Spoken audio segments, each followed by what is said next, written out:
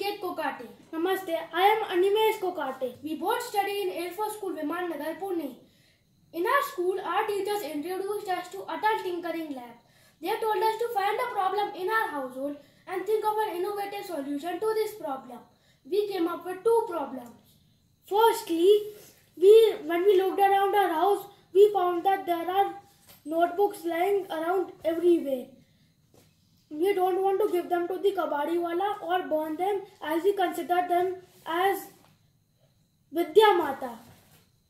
So what should we do? And this problem is not limited to our house. Every student generates 5 to 10 notebooks every year. So what if we could use these notebooks and make something innovative? The second problem was we keep buying plastic pens every year. Since we can't we can't find compatible refills to these pens, we end up buying more and more plastic pens. This end, ends in heaps of pens found in every household. These are very harmful to the environment as they will eventually end up in landfills and will not biodegrade. So what if we could find an eco-friendly replacement to plastic that will biodegrade and will be very cheap? So this led us to the idea that if we could somehow convert these old notebooks into a material that we could make pens. This gave us the idea of Tulika, the eco-friendly pen. Now I will show, we will show you the process from which we made this pen.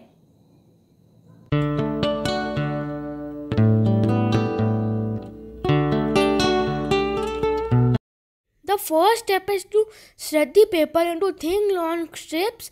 We enjoyed this very much.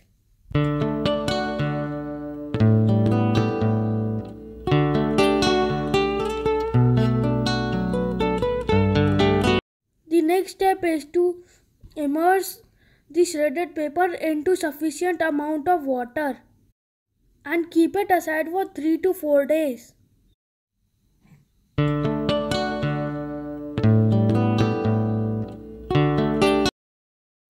Four days ago, we cut the paper and drown them in the water. Now, see, it looks like this. It becomes soft and smooth, but we have to mash it more. So, Aniket will churn this in the mixer. Now, as you can see, this is our paper mache made from our old used notebooks. Now, I am gonna churn this.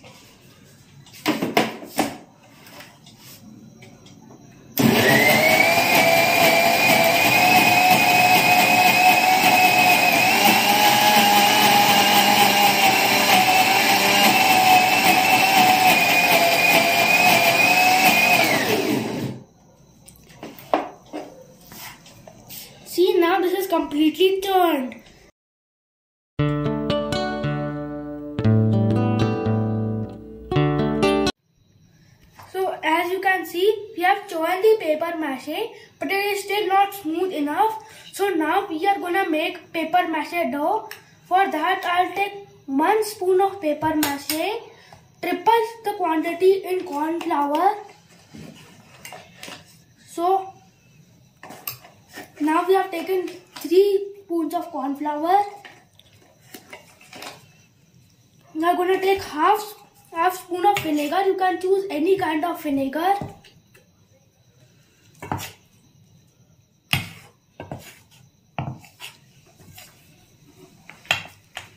And Fevicol until it becomes dough like a dough.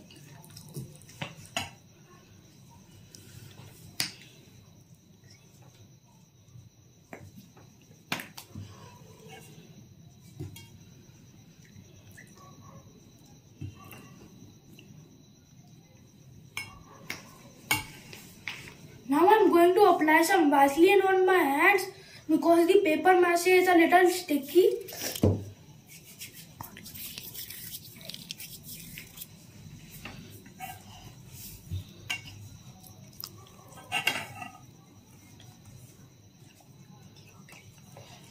We are going to make be making a clay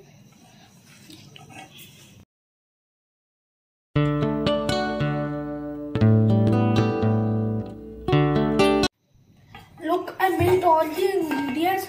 Now I am going to turn it into a smooth clay. Rub this in the hand powerfully so it doesn't become dry and it becomes smooth. Look, it becomes so smooth.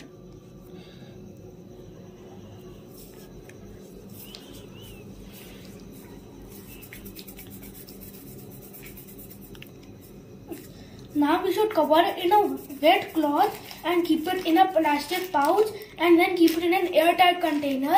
Let this rest for 15 minutes then roll it out in a refill.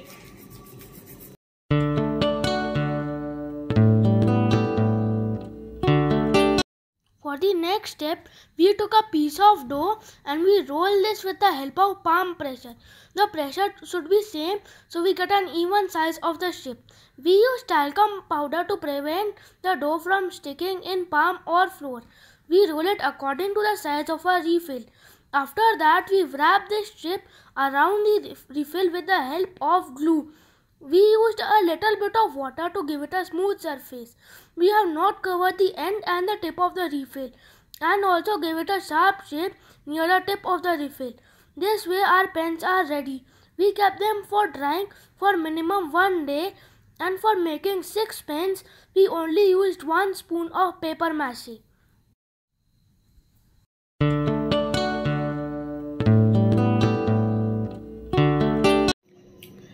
After a few hours the pen is completely hard. Now we are going to paint it. We are using acrylic color. I am using blue and Animesh is using orange.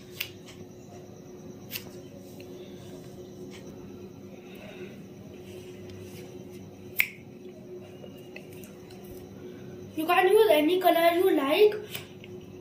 We are using blue and orange. Ah, you can even decorate it any way you want. Now the coloring part is over. As you can see the pen is completely dry.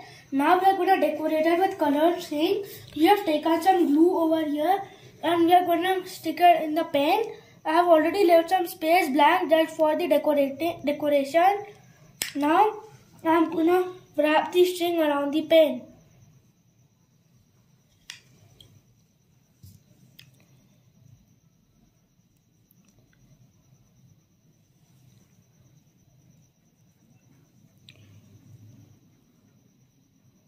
Now the decoration part is over.